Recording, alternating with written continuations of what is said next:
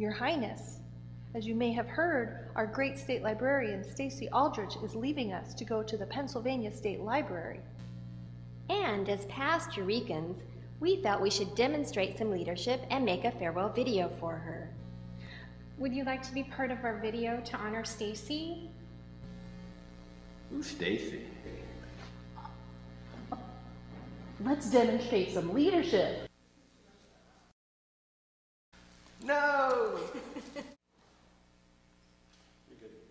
Seriously, Stacey, we here in Rancho Cucamonga cannot thank you enough for all of the support you have given us over the years. Things like our Eureka experience. The grants for our Play and Learn Islands.